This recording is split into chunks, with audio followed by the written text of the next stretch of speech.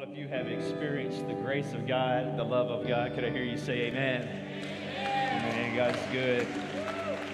Right. David said, Come magnify the Lord. Let us exalt his name out. Together. Together. That's what we're doing. We're magnifying the Lord. That's what great are you, Lord? Great is the terminology of magnifying. That's great. That's making it big. And we're doing it we're doing it together. And what we're doing is we're pointing our hearts, pointing our hearts towards the beauty of God. Has the ability to change. Uh, these moments like this have, have greater ability to change than any of our, our own self willpower has.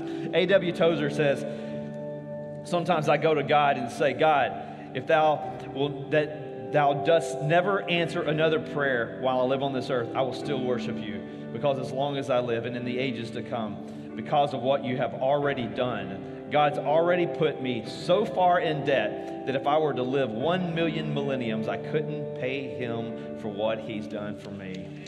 Yeah. Yeah, what a perspective. God is good. All right, won't you be seated? Glad you're here. If you're visiting for the first time, welcome. I hope up until this point you have, uh, you have felt welcome. We are a community of people who is trying to follow Jesus as closely as we can. Not perfect, right? Yeah, shaking your head. You're going like, yeah, I'm not perfect.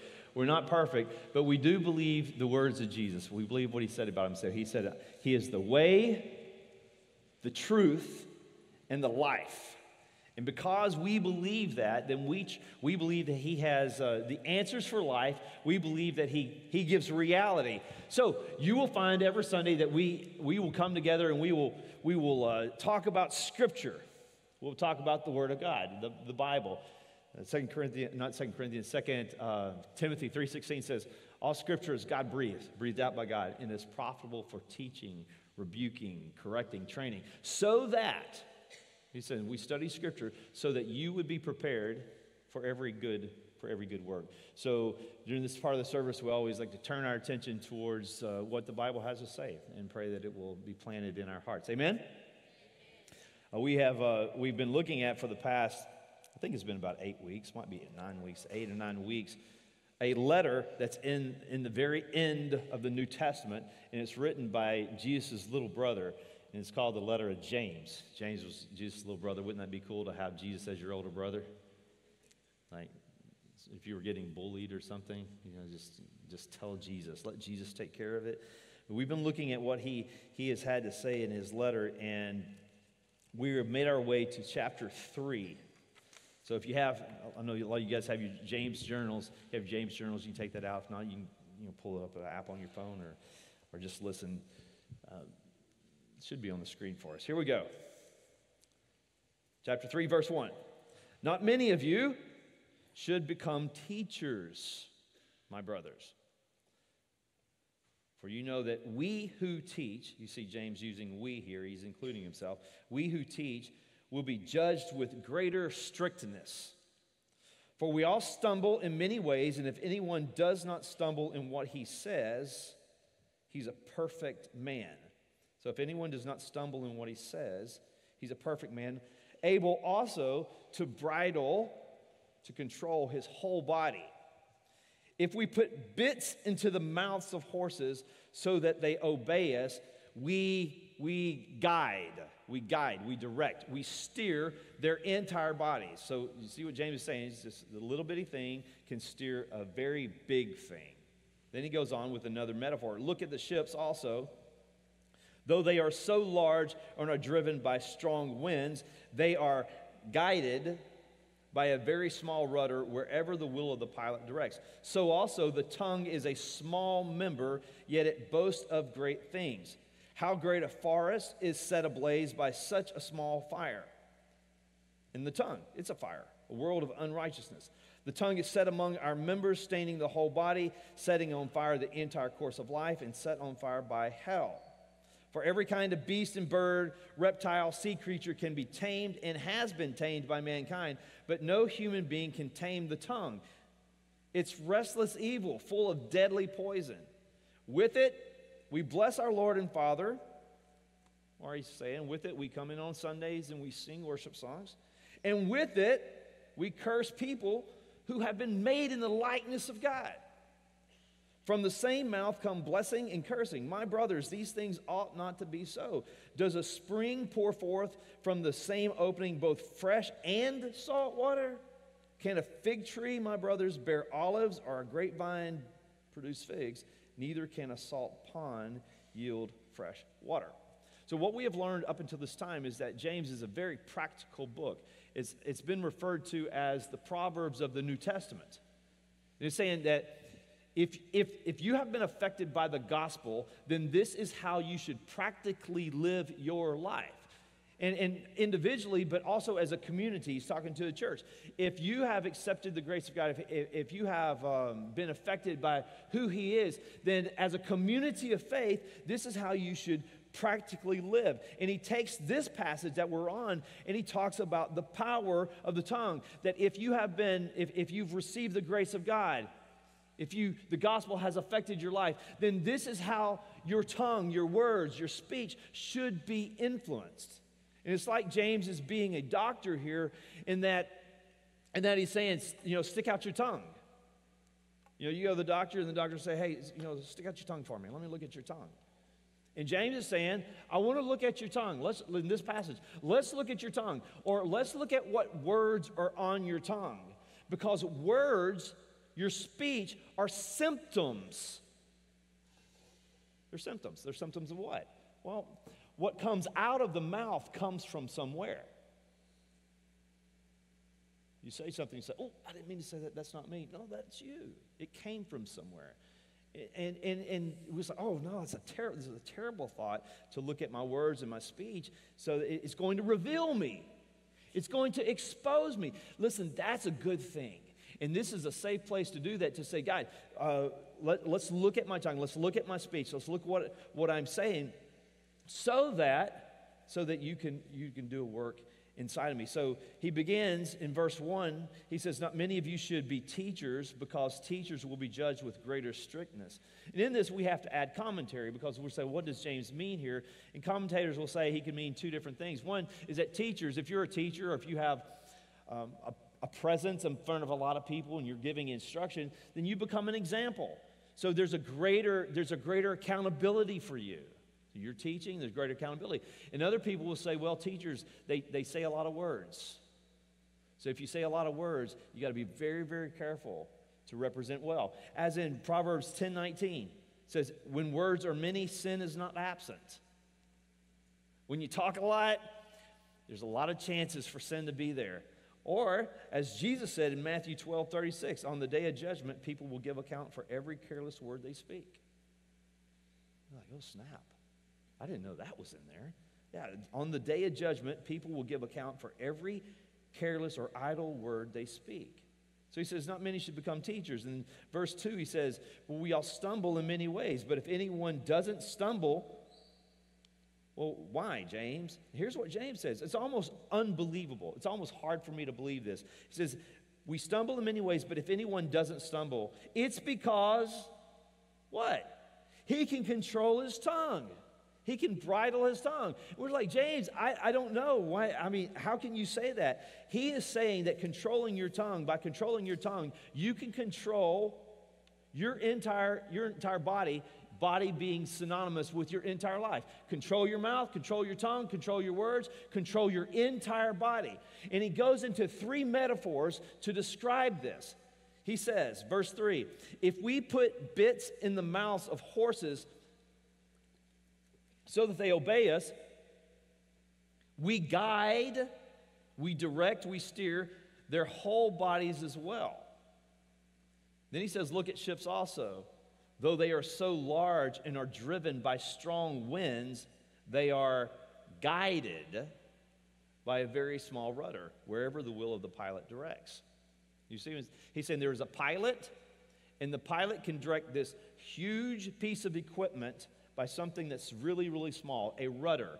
Wherever the pilot, wherever you want yourself, your life to go, you can direct your life, he's saying, by your words, by your speech. Is he saying there's a pilot? He's directing this huge ship, even with bad things, storms, winds on the outside of it. He's directing it by the very words that he's speaking. And then he says, So also, the tongue is a small member, yet it boasts of great things. He goes back to a metaphor how great a forest is set ablaze by such a small fire. So I say, with these three metaphors, incredible teacher, incredible way. What's James trying to nail down here? What is James trying to teach us to, to bring home, to get the coin to drop for us about these three metaphors using this? Is that small things, small things can have a very big impact. That's why he goes and he talks about a rudder. A rudder, I don't know a whole lot about rudders other than what, I, what I've read, is that it's at the end of a, a boat, end of a ship, and it directs, it steers the ship. A very small thing directing, I think a rudder could weigh up to 60 pounds, directing a ship or a boat that could weigh over 2,000 pounds. That's what James is using. Then, then he talks about a bit.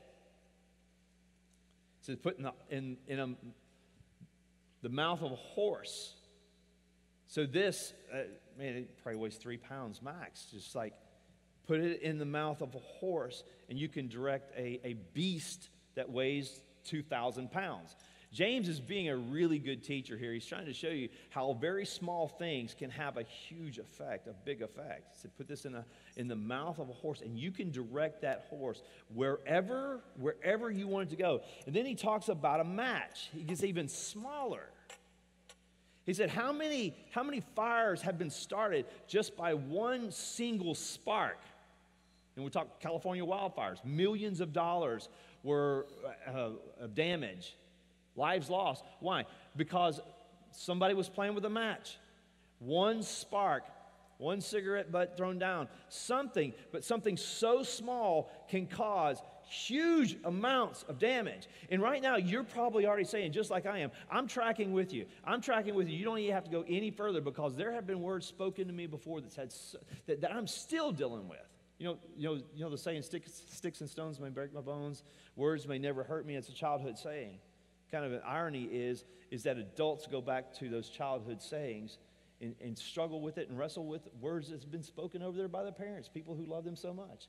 Then he talks about the tongue. And, and just for just for grins, might not be grins, might be gags. Um, wonder what's in the bag, huh? But he talks about the tongue. You know it's not good if you have to put a glove on it. This is going to make some of y'all very hungry and some of y'all very gaggy. You know who you are, so. Uh, but uh, I searched Beaumont, man. Beaumont's not, this is, this is a tongue, right? That's a tongue. Yeah, that's a, that is a tongue. That thing costs $22, by the way. And I went to a lot of stores and finally found this thing. And I'm not going to pull it all out because it's a little drippy. this is what James is talking about. You want to pet it? No, I'm just joking. no, I'm never coming back here again. Uh, this is a tongue. That, that's just like but it can direct, it can steer. I just wanted this to, to stick out in your mind that we're talking about the tongue. And, and by the way, if you, if you want this after service, uh, you're welcome. If this is your thing and you like to cook it and you want to eat it, I know I've got a, a relative that said, That is delicious. I was like, mm, I'm not going to find out. But James is wanting us to know that very small things. Nathan. Very small things can make a, a, a big, big difference. In fact, we, he would be saying like this the tongue has creative abilities. Words have creative abilities. You think about Genesis 1 1, how the world was made, in the beginning, God created the heavens and the earth. And he said, He, he what? He said, Let there be light. Let there be light. Now, we're not God, and, and, it would really be cool if we could speak something and create physical properties. But God created everything, nothing, something from nothing by speaking words. And we, we don't have the ability to create certain things like that. But what we do know is that how is self esteem formed? How, how has self esteem been torn down in the past? How has your self esteem been built up before? By, by people speaking kind words, I see in you type conversations. This is what I see in you. You have incredible amounts of, or, or, or, you're a loser, or you never do anything like your brother or your sister, or you always, or whatever. These words have creative powers over us. They, you, you tell a kid you're stupid enough and, and you're close enough to that kid, it goes deep. It penetrates into that, that child like a chemical going down into the ground. It penetrates deeply into that. And we know that because a lot of people in this room, you still deal with, with hearing words that were spoken to you 20, 30, maybe even 40 years ago. What about marriages? Words have destroyed, words have made marriages. Words that you wish you, you wouldn't have said, words that, that you have said, words that have been spoken over you. Um, it, it's like a sword. You, you, put a, you can put a sword in and you, you put it into someone's flesh and pull that sword out, and you could say, Oh, I'm so sorry I just did that. But the sword's not there, but the wound is. In Proverbs 18 21 says, Life and death are in the power of the tongue. Look, I, have heard, I, I've heard that scripture enough that it almost, I almost just pass it over. But it says life, just think how, how extreme this statement is. That life and death are in the power of your tongue. That every father in here, you have the ability to speak life or death over your children. Every wife, every husband, every mom, you have the ability, we have the ability, we have something in our, our disposal our arsenal to be able to speak either life or to speak death over the people that we love. Verbal communication, words, they're wonderful to have, right? They help us express our thoughts. They help us express affections that we have. I mean, if you wouldn't be able to have words or, or communication, you would have all these feelings and things that you would like to try to convey, but you can't. So, words aren't terrible things. They're, they're good or bad, life or death. They're wonderful to have, to be able to, to get across what we're feeling, but they're penetrating because words have the ability to create, create realities for people. Like gossip. Gossip creates realities for other people that, that aren't true, that other people may believe about them and be, begins to see a nuance about them. Or, or maybe if, if, if you, you or you know someone that they just complain all the time. Uh, it's a terrible day. I, I hate my life. Eventually, those words create a type of life, a pessimistic life.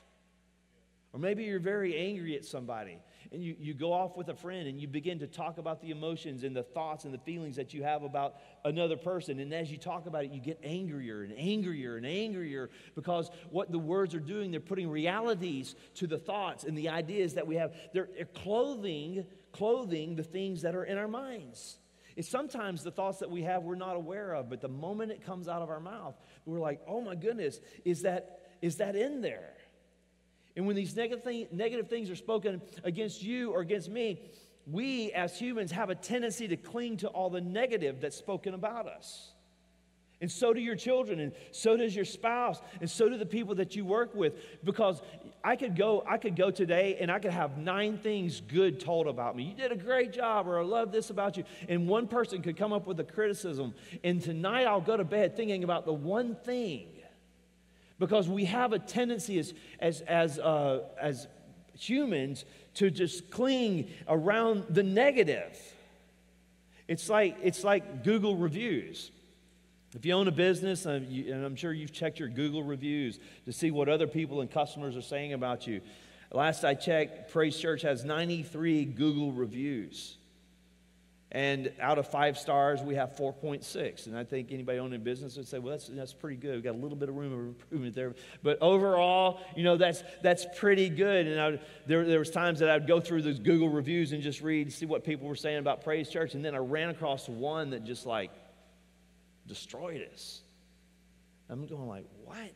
It's like terrible, had, came in, didn't feel welcome. They felt ter- terrible, you know, felt like they were isolated, and then they come into the church. And here's, here's the one thing that stuck out to me. Out of all this good, like 93 reviews, and you've got this one here that sticks out so much. So one thing says, and the pastor, the pastor uh, doesn't even read from the Bible.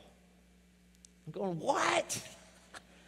We're reading through James, right? We're reading verse by verse, but I'm going, why. And so, what am I doing? You know, what are you doing when you hear all these good things and this bad thing? You're thinking about all this bad thing that's been said about you. Because we, as human nature, we, we just, I don't know what it is. We gravitate and we don't like to, you know, don't like to, to think that about ourselves. James says in verse 8, the last part of it, he says this about the tongue it's a restless evil. This is penetrating, it's full of deadly poison.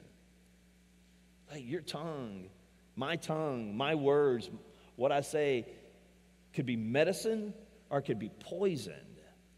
Poison in, in either way, it like can sink really deep down to places that that actions it just it can sink, sink very very far down so you say well what kind of words are full of poison we'll say well Let's just let's bullet point some of them.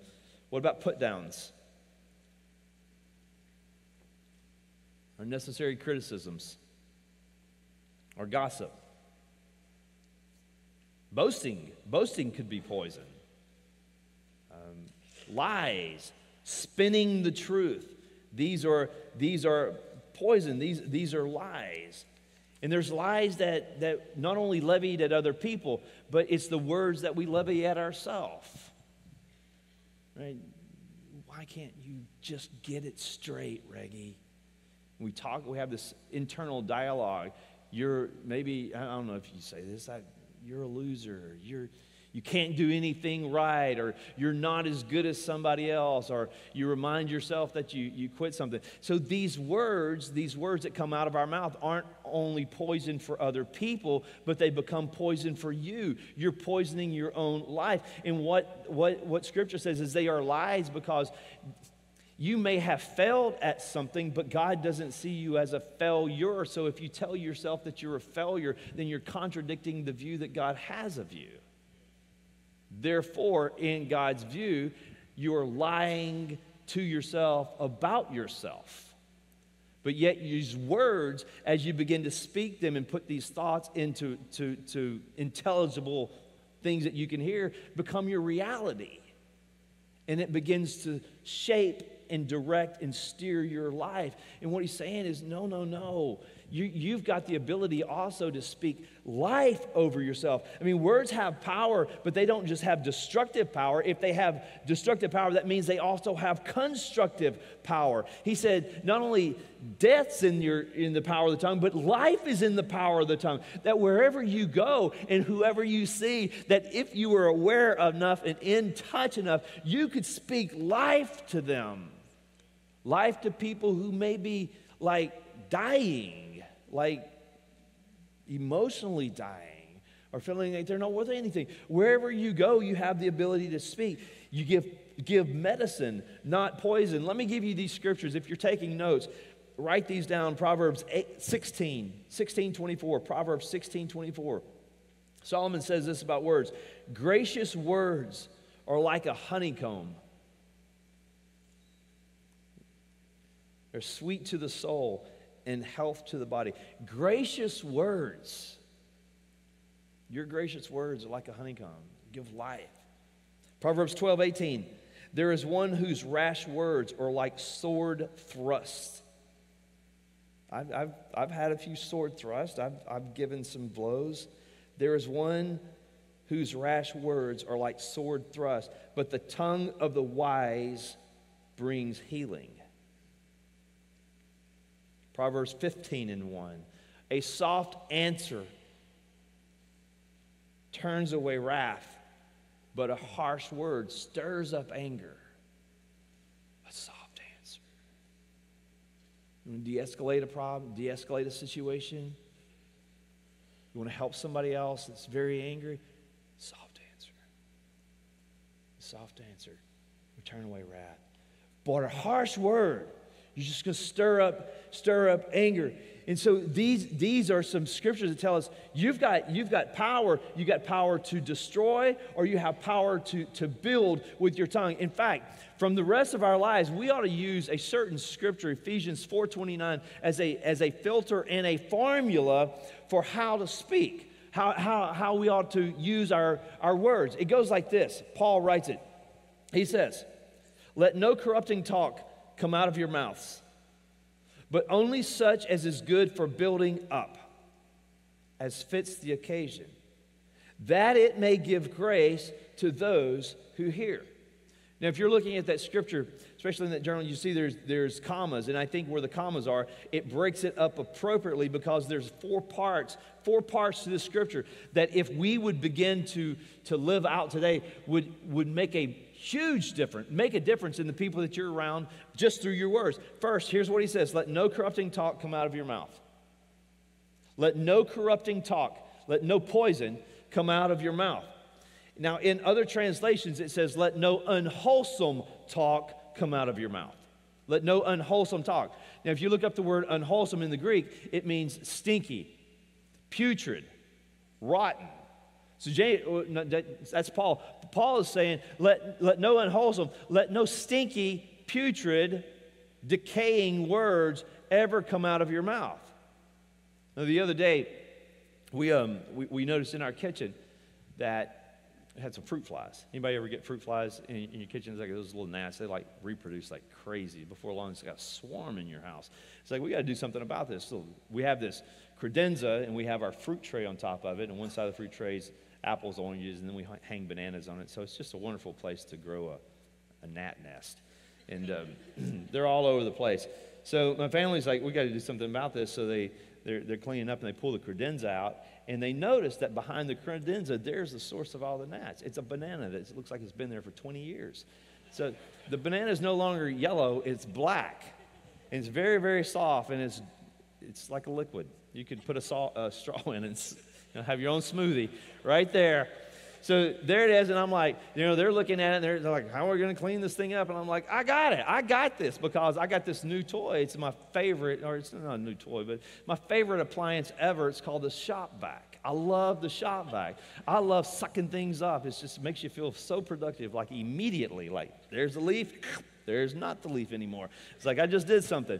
And so I go get my little, it's a two gallon shop vac. It's got two horsepower. It will it'll sock a suck up, a sock up into it. And so I, am like trying to get the gnats, right? I'm like catching gnats with the with the shop vac. And then down below it's got some juice, and I'm just getting the juice up too. And I get too close to the banana. Yeah, it's like the whole banana, like sucked up, sucked up into the shop vac. And so I just keep doing it. Well, you know what's happening in the exhaust? Man, I am filling the house with the nastiest smell you've ever smelled. And Shannon's over there, that's my wife, she's all going, please cut it up, cut it off because I have, I have sucked this banana up now in my shop vac and it's exhausting. It's putrid, smelly fumes. And what James, what, what Paul here would be saying is that when we are talking an unwholesome talk, we are filling the air with a putrid smell. Right? Every one of us, we, we've been guilty of that. So here, here's, I'm going to I'm gonna give you something to be accountable for, right? And, and I'm going to put a little pastoral pressure on today. A little pastoral pressure. Hold you accountable. Let no unwholesome talk come out of your mouth. So, one day challenge. I won't kill anybody. One day challenge. No unwholesome talk come out of your mouth. Now, a challenge isn't good unless you have an accountability partner. You've got to have an accountability partner. You know right now who your accountability partner is. If they're in the room, catch eyes because you're going to talk tomorrow about this. You got to hold each other accountable. I'm going to ask my wife to hold me accountable tomorrow. So you, you text somebody today and say, "Hey, will you hold me accountable?" Text somebody in church. You got to talk about it tomorrow. But no unwholesome talk, no lies, no gossip, no criticisms, no talk downs, no talk down to yourself um, anything that would be considered like stinky talk, no unwholesome talk coming out of your mouth. Now, that's, that, that's step one. Step two, though, is what Paul talks about, but only such as good for building people up. So, first, don't let any unwholesome talk come out of your mouth, only that which is good for building people up. Now, building, if you look in other translations, it says, let no unwholesome talk come out of your mouth, only that which is edifying. Edifying. Anybody heard the word edifying? Like edifying means build up, because edifying comes from the word that means edifice, and the edifice is a building. So he says, only words that would help build up, that would, that would construct not tear down, but construct. So, only words that you would speak over someone's life that would make their life a place for the Holy Spirit to reside. How about that? So, if you're building a building, and you're building a building for the Holy Spirit, you're going to want to build the best building that you can because the Holy Spirit deserves that. And so when I'm helping build other people up, I want to speak words that is appropriate for the Holy Spirit to live in because we are temples of the Holy Spirit. Amen? So what we want to do is use our tongue to build in other people a place for the Holy Spirit to reside. Let no corrupting talk come out of your mouth, only such as good as building up as fits the occasion. That's number three. As fits the occasion. Well, what does that mean? It means you need to know what's going on in the other person's life so that you can speak specifically to their needs. Right? Someone going through depression? Then speak to the occasion. Like, like sometimes we have this, this tendency, or, or or go, hey, that's awesome. You're great. You're incredible. But those are very abstract words. What about if you could come down and know exactly what's going on in the person's life so that you could speak as fits the occasion? Right? Because if you could be aware of what's going on in the moment of that person, then you could take your words and build, construct according to what that person needs right now. And the fourth part is so, this is so cool, that it may give grace to those who hear. Let no corrupting talk come out of your mouth, only such as good for building up, as fits the occasion. And here's the result that it may give grace to those who hear. Here's what, what that means so that your words would be a blessing, your words would be a delight, your words would be a joy to the people that you hear, that you, that you would be a blessing, that you would give grace. He's like, I don't know. I don't know that I could, I could give grace. How wouldn't you love to know? We, we have a, you know, our, our vision statement love God, love people, and you know, you could just make a difference by the words that you speak tomorrow. You know, there are words that I could tell you right now that my father spoke over me, that coaches have spoke over me, that teachers have spoke over me 40 years ago that I still remember. And do you know that tomorrow you can speak words over people that they will live, they will remember for the rest of their life that will build them up. Say, I don't know that I could do it. Yeah, you can. You can. Because you've been given grace, and you can give that same grace. You have overflow. You have overflow. You have something to give. You remember when Jesus was on the cross, like right before it was over, he spoke seven statements using words in those statements. And some of those was, um, It is finished. And Behold your mother. I'm thirsty. But there was one statement that he said, he said, My God, my God, why have you forsaken me? It's like God went silent, like solitary confinement for Jesus in the sense of not hearing from God. No words from God, no words. And that was part of the plan for Jesus to have to carry and shoulder the weight of the world, that there would be separation, no communication, no words from, from his source. And he says, My God, my God, why, why have you forsaken me? You see, you, you see what, what's happening? That there were no words spoken over Jesus so that you could get God's affirmative word spoken over you. That Jesus got the silent treatment so that you can hear God say, You're my son, you're my daughter, you're adopted, you're loved, I want you. And so you have plenty of grace inside of you that you have already received. Grace, as Paul says, grace upon grace upon grace upon grace. So you will always have a, a, a, a huge pile of grace that you can always give to other people. And you can use it and you can give that pile. Say, like, how in the world can I give that pile? You can do it a lot of ways, right? Random acts of kindness. You could, you could do it just by your words. Don't let any unwholesome talk come out of your mouth. None. No more. Only that which is building up as fits the occasion, so that it may give grace to those who have listened. Wouldn't it be incredible that every person that you come in contact with left feeling like they have been built up and not torn down. And they can. They can because you have the ability. Let me give you one more scripture. Write this down. This is a great scripture to memorize. Psalms 141 and 3 says, Set a guard, O Lord, over my mouth. Keep watch over the door of my lips. What a good prayer, huh? Set a guard, O Lord, over my mouth keep watch over the door of my lips. I want you, I want you to stand because I want us to pray as you're, as you're standing. You know, stay in a, a reverent mood and we're going to go into one song of worship.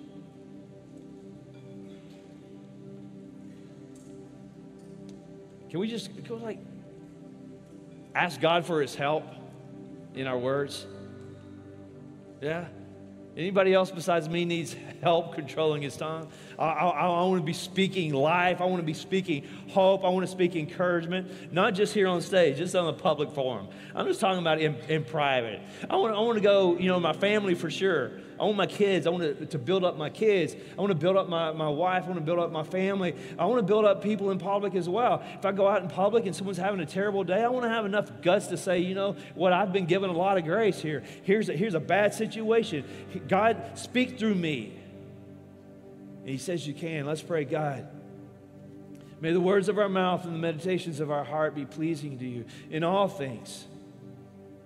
God, may we use the faculties that you've given us, the ability to take concepts and ideas and formulate them in ways that people can understand. May we use that for the glory of God and to build people up.